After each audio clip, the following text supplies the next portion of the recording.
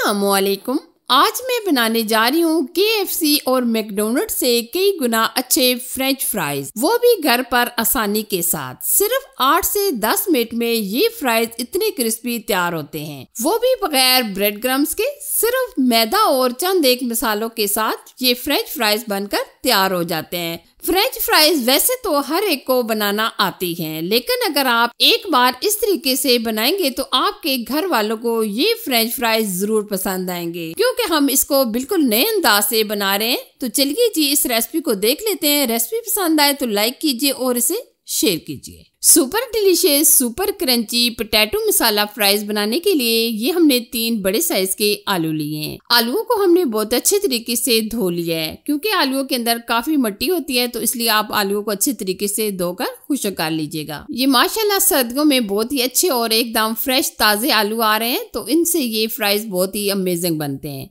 अब हम आलूओं का छिलका रिमूव करेंगे। अगर आप ये छिलके के साथ भी ये फ्रेंच बनाना चाहें तो बना सकते हैं, लेकिन हम छिलका रिमूव कर रहे हैं। ये देखिए, हमने एक पोटैटो का छिलका रिमूव कर लिया है। इसी तरह हम ये तमाम पोटैटो का छिलका रिमूव कर लेंगे। वैसे तो फ्रेंच फ्राइज हर एक को बहुत ज़्यादा पसंद होते हैं, लेकिन अगर आप इस तरीके से ये फ्रेंच फ्राइज बनाएँगे तो यकीन माने सबको बहुत ज़्यादा पसंद आएँगे। आप देख सकते हैं, ये हमने तमाम पोटैटो का छिलका रिमूव कर लिया है। अच्छा जी, अब मैं आपको एक छोटी सी टिप देना चाहूँगी। चाहूँगी ये पोटैटो के जो छिलके होते हैं, इसको भी आप वेस्ट मत किया करें। इससे भी इनशाला मैं आपके साथ बहुत ही ज़बरदस्त सी रेसिपी शेयर करूँगी। अगर आप लोगों ने कॉमर्स में मुझे बता दिया कि आप पोटैटो के छिलकों से रेसिपी बनाना बताएँ तो इनशाला मैं वो रेसिपी भी आप लोगों के साथ शेयर कर दूँगी। अब हम पोटैटो की कटिंग करेंगे। पोटैटो की कटिंग करने के लिए पहले हम इस तरीके से बड़े बड़े पीसेस में कट करेंगे और अब हम फिंगर की शेप में इस तरीके से कटिंग कर लेंगे। ये देखिए, इस तरीके से हम लंबाई में कटिंग करेंगे। ये जो बड़े पोटैटो पोटैटो होते हैं, इससे बहुत ही अच्छे और बहुत ही ज़बरदस्त ये फ्रेंच फ्राइज बनते हैं। और जब भी आप फ्रेंच फ्राइज बनाया करें तो बड़े साइज़ की आलू यूज़ किया करें।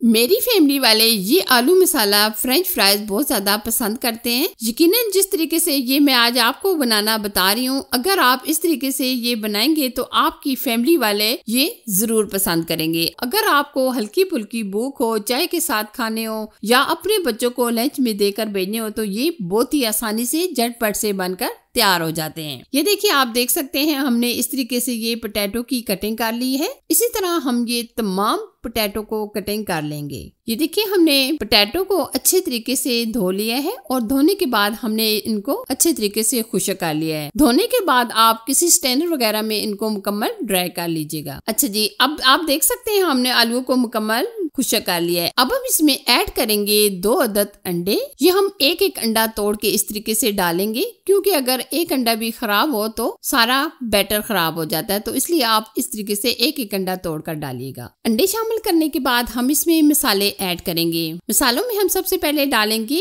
कुटी लाल मिर्च, चाय का एक चम्मच। आधा चम्मच हम अजवैन डालेंगे और आधा चम्मच के करीब हम इसमें सुरख लाल मिर्च का पाउडर ऐड करेंगे। हल्दी पाउडर चाय का आधा चम्मच, धनिया पाउडर चाय का एक चम्मच चम्मच या डेढ़ चम्मच आप अपनी मर्ज़ी से डाल सकते हैं। हसबे जायका, हसबे टेस्ट हम इसमें ऐड करेंगे नमक एक चम्मच। एक चम्मच हम इसमें जीरा ऐड करेंगे। फ्रेंच फ्राइज को क्रिस्पी करने के लिए हम इसमें डालेंगे राइस फ्लोर यानी चावल का आटा, तीन चम्मच। राइस फ्लोर यानी चावल का आटा डालने से एक तो ये क्रिस्पी बनते हैं, दूसरा टेस्ट भी बहुत ही ज़बरदस्त हो जाता है। अच्छा जी, अब हम डालेंगे तकरीबन एक कप के करीब मैदा। मैदे को हम छान कर डालेंगे। यहाँ अपनी मर्ज़ी से स्पाइसेस कम या ज़्यादा भी आप ऐड कर सकते हैं। जिस तरह आप चटपटा खाना चाहे तो आप इसमें मजीद मसाले ऐड कर सकते हैं। ये हम बहुत ही अच्छे तरीके से मिक्स करेंगे ताकि ये क्रम्स बन जाए। अगर आप यहाँ चाट मसाला भी डालना चाहे तो डाल सकते हैं। कुछ लोग फ्रेंच फ्राइज बनाते हैं तो कुछ देर रखने के बाद ये नरम पड़ जाते हैं, जो खाने में बिल्कुल दिल नहीं करता।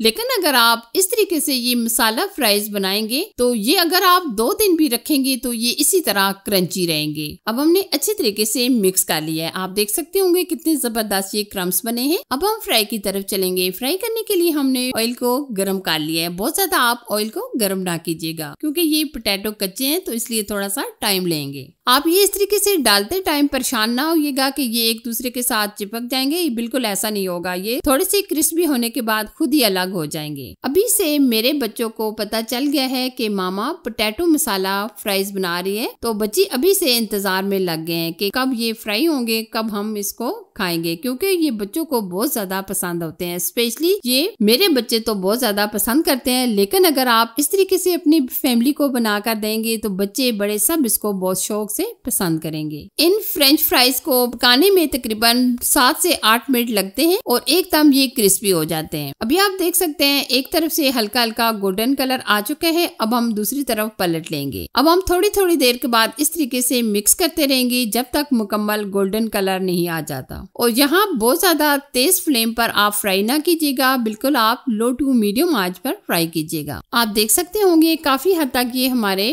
पोटैटो फ्राइज तैयार हो चुके हैं और बहुत ही प्यारा सा माशाल्लाह गोल्डन कलर आ चुके हैं। या आप देख सकते हैं माशाल्लाह पोटैटो के ऊपर कितने ज़बरदस्त क्रम्स बने हैं? बिल्कुल ऐसा लग रहा है कि ये हमने चिकन से बनाए हैं। ये देखिए, माशाल्लाह बहुत ही प्यारे से हमारे ये फ्राइज तैयार हो चुके हैं, अब हम निकाल लेंगे। अगर आप मजीद इनको कलर देना चाहें तो दे सकते हैं, लेकिन हम इतना ही फ्राई करेंगे। इसी तरह हम ये तमाम के तमाम पोटैटो फ्राइज फ्राई करके तैयार कर लेंगे। बहुत ही क्रंची बहुत ही ज़बरदस्त, खाने में लाजवाब मसाला पोटैटो फ्राइज हमारे बनकर तैयार हो चुके हैं आप भी एक बार इस तरीके से बनाकर देखिए। यकीन माने आपको बहुत ज़्यादा पसंद आएँगे। रेसिपी पसंद आए तो लाइक कीजिए, शेयर कीजिए और चैनल पर नए तो चैनल को सब्सक्राइब कीजिए। साथ ही के बेल आइकन को भी प्रेस कर दीजिएगा ताकि मैं आपके लिए जो भी नई रेसिपी बनाऊँ, सबसे पहले आपको मिल जाए। Thanks for watching. Allah Hafiz.